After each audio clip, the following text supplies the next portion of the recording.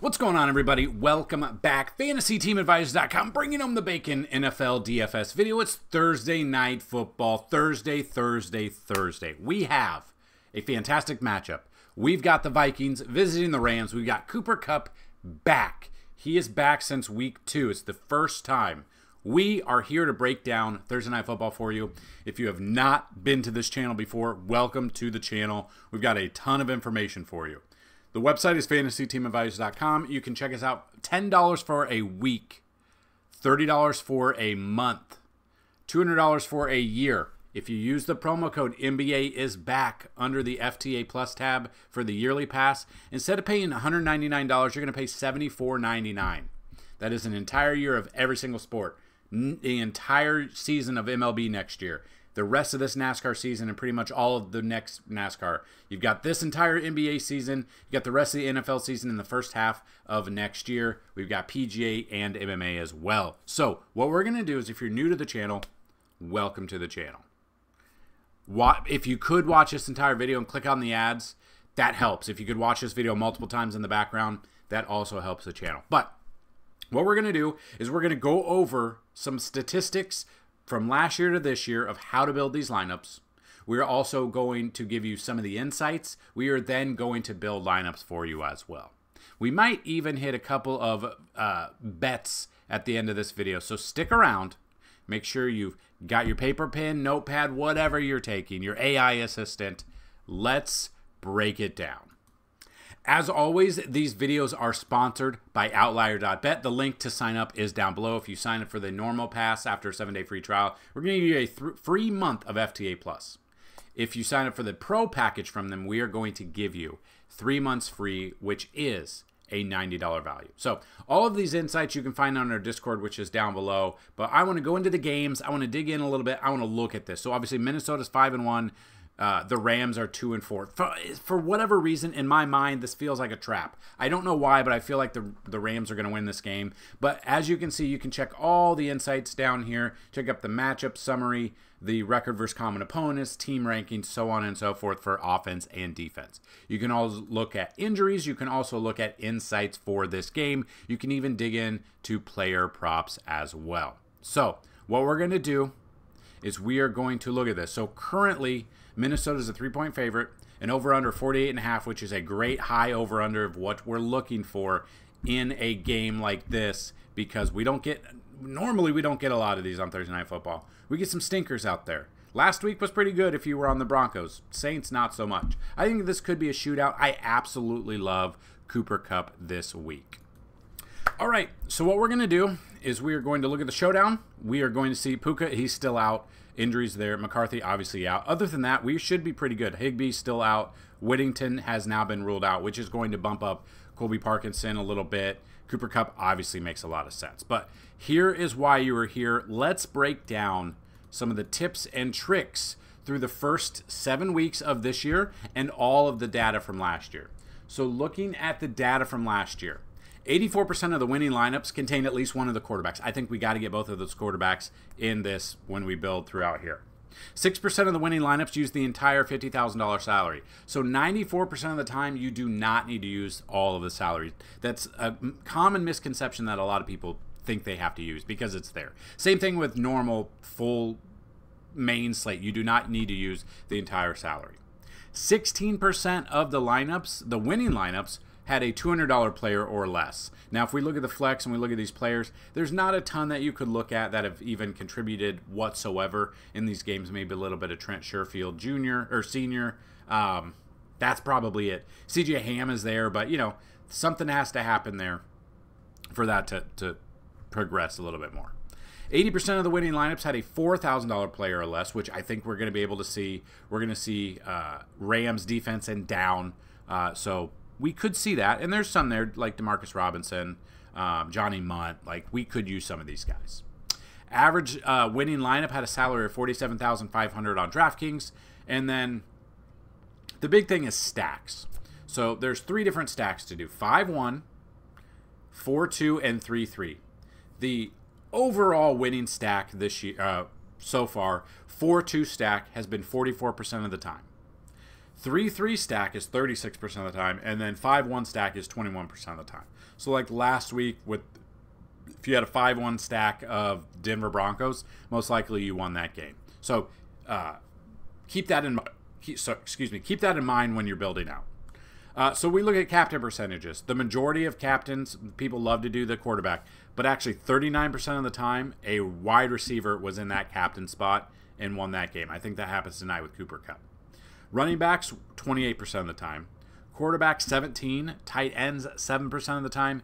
Defense, 7% of the time. And kickers, 2% of the time. So if you saw Monday Night Football, uh, what, Dicker the kicker uh, had six field goals, I think. So he was like Jake Moody in week one.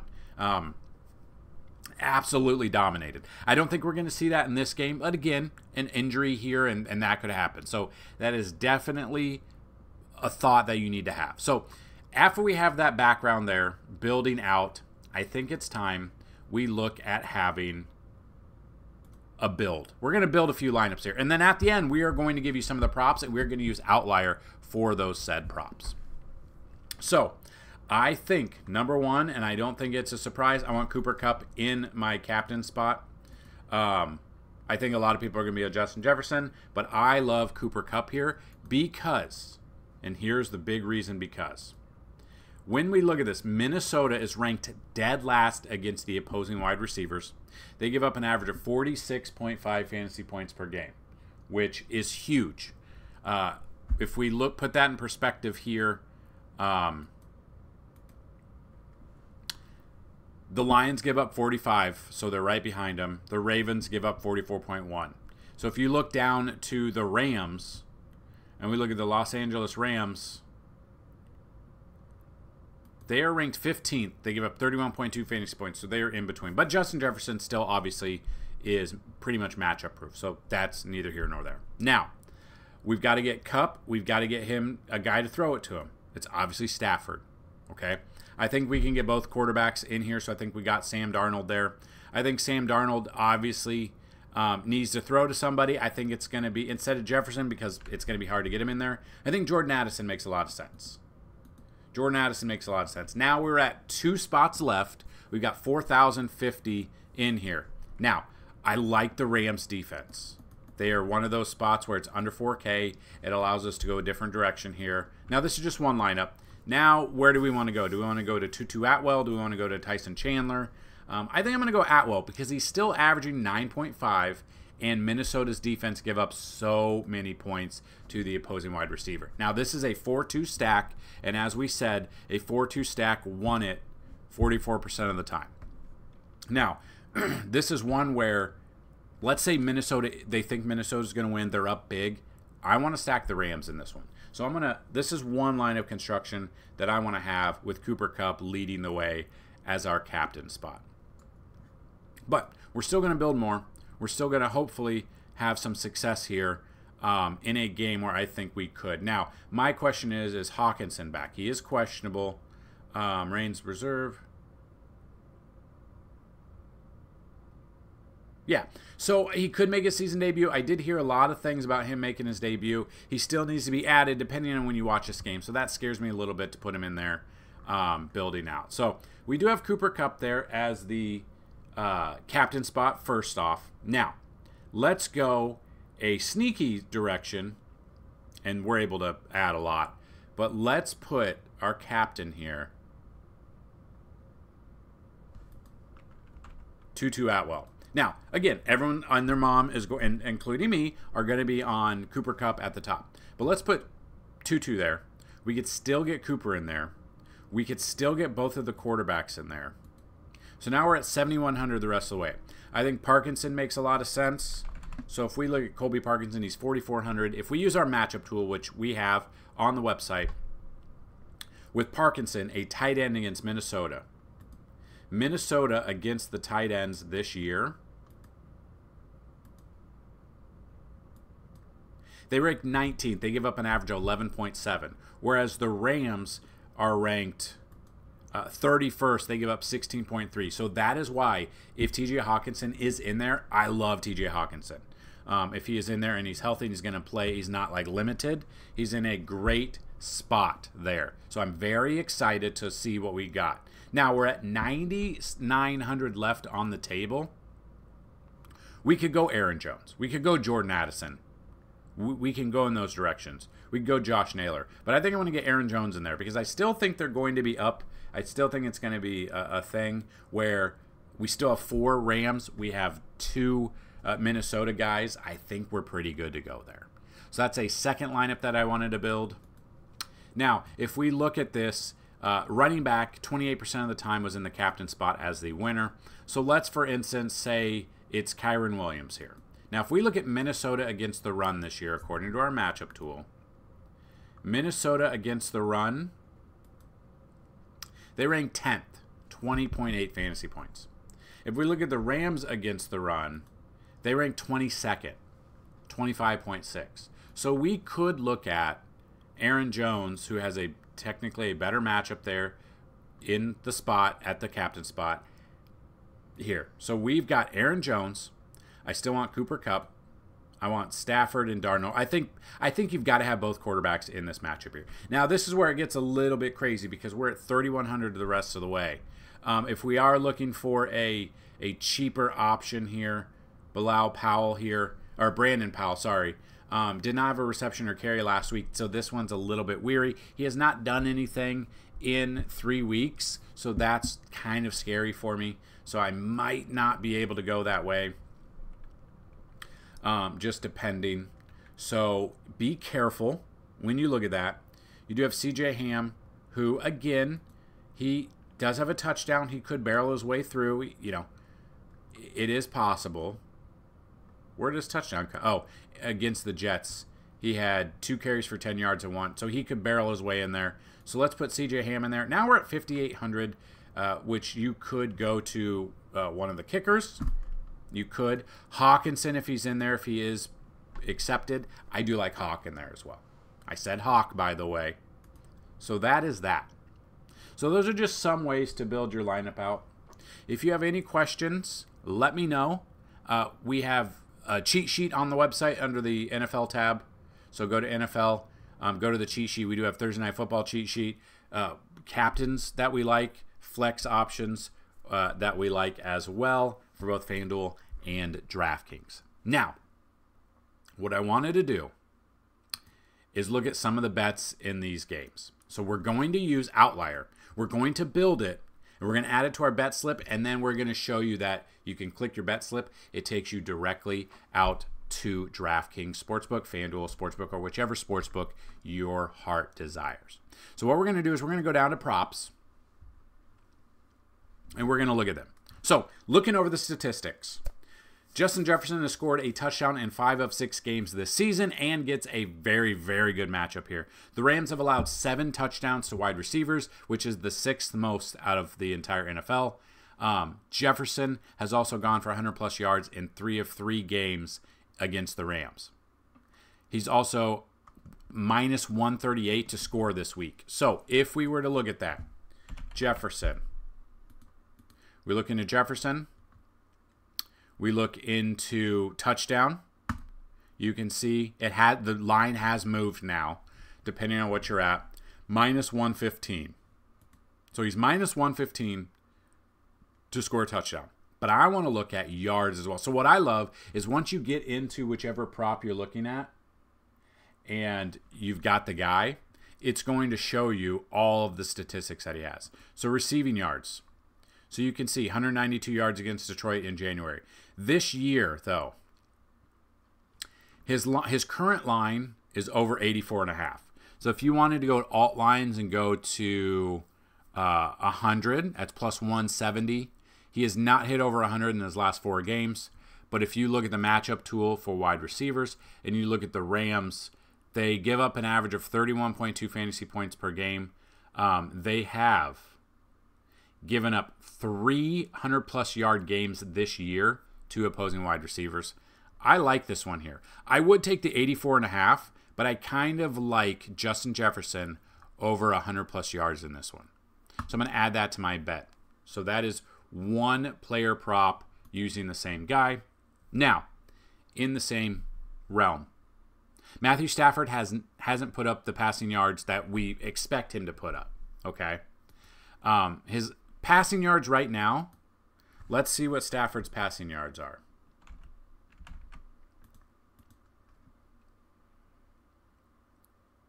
So let's just click into here and we'll go to passing yards. His line is at 238 and a half. He does get Cooper Kupp back. They are dead last against the wide receiver. The Vikings give up second most yards to quarterbacks, 285 yards per game. I like this line here of 238. I think I'm going to take more than that. I think I'm going to take a minimum. I'm going to take 274 and a half. If you look at this, he has not hit that the past few games this season, but he has hit it a couple one time this year at 317. So if you want to bring it down a little bit, you want to go two you want instead of 274, you want to go 250. You can see he did that 2 games ago. I like this matchup here. I'm adding that to my pick there. Now let's get to the two running backs that everybody's going to be on. Aaron Jones, number 1. Got a great matchup here. He's covered longest rushing yard. So his longest rushing is 14 and a half. He's hit that four of six games with 19, 39, 17, and 34. Five running backs against the Rams this year have had a 14 and a half an over longest 14 and a half. He's the number eighth running back in explosive yards gained this season. I like this one over 14 and a half rushing yards. The on on DraftKings it's minus 130. On BetMGM it's minus 125, and on uh, Price Underdog it's minus 120. So what I'm going to do is I am going to take add this to my picks at minus 120 combined. Next one we're going to look at Kyren Williams. I didn't just type Kyren because he's the only Kyren in the league, I believe. So we look at this. He's he leads the NFL in red zone attempts at 31, which is a huge number. He scored a touchdown in every game and has nine of them this year. The Vikings have been good against the run, but Jahmyr Gibbs last week scored twice against them. Now, David Montgomery obviously being out, but I like this matchup here. So, what we look at, um, this is where I'm looking at rushing touchdown. Um, you can't take it there or over a one touchdown. So just not just rushing, but over at minus 180 or minus 225 on DraftKings. I'm still going to take this. I don't know if I will take this as a single bet, but in a parlay, same game parlay, I will take this one as well. Now, this one's a big if, but TJ Hockenson, if he is back, he's got a fantastic matchup. Um, they are very bad against the tight end. They allowed the third most uh, yards to tight ends this year, giving up an average of 67.8 yards per game. Now, we do not have a line on him completely, but if we were to look at him, they have moved the line, depending on where you're at, um, over 24 and a half receiving yards. You can find this on DraftKings. I think he comes back. You can see if he is in this game, he is in a great matchup here. I like this. If he is in, the line is out now, over 24 and a half. I'm adding Hockenson in there as well. So if you look at the picks, that's six picks here. On DraftKings, you can do six of six. If you want to take this, I'm going to add it to the bet slip, which will take us out to DraftKings Sportsbook, and then I will pause the video so I can log in because I obviously do not want you guys to see my login details. So I will be right back. Okay. So I've logged in. For whatever reason, I cannot get the Aaron Jones longest run of over 14 and a half in a same game parlay on DraftKings anyway. I don't know why. So I've updated it a little bit. So I've got Matt Stafford 250 plus passing yards. I've got Justin Jefferson scoring a touchdown. I've got Kyren Williams scoring a touchdown. I've switched it to Aaron Jones 40 plus rushing yards, Justin Jefferson 70 plus rushing yards, TJ Hockenson 40 plus rushing yards as well. So what we have is there is a bonus for this bet or for this week. Um, Thursday night football, same game parlay, 33% bonus. So what is at 1900? I add this, it's at 25 27. It's a $20 top bet that I can do. I'm going to do 10. I'm going to do a $10 bet on this one. This is one you can follow. If you have not already signed up to DraftKings or uh, FanDuel, I will put the links down below because if you sign up using our link for the sportsbook, I think they're going to give you an upwards match of $250 on top of whatever that you've uh, uh, you're going to get a the bonuses. Um, those were at the beginning of the season. I still think they are there if you have not already signed up. So those links will be down below as well. And I'm going to place this bet here, and hopefully we all bring home the bacon. So that is a Thursday Night Football breakdown. If you guys enjoyed it, make sure you check out all of our other content. I will post it here at the end of the video. We've ranked out all the positions, over 300 players for Week 8 so far. We have the NBA video for today. Uh, this weekend, be on the lookout Saturday for the NFL main slate breakdown, which we break it down and we build lineups as well. So I'm going to build a lineup on DraftKings and FanDuel for you for the main slate. So make sure you check out that video. It's a little bit longer, but it's more in depth. And we use SaberSim and we show you how to uh, simulate some of the games and build some lineups out there as well for the main slate. So that's what I've got for Thursday Night Football. Good luck. And as always, bring home some bacon. Peace.